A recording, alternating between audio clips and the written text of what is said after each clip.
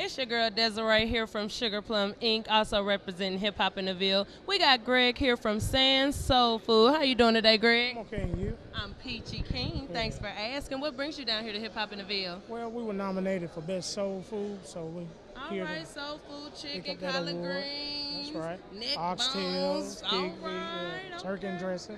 All right. Yeah. So how you get started in the soul food business? Actually, I took over a business. It's formerly known as Sand Soul Food. Okay. I ex- Silver Sands actually, Silver but we Sands, changed it.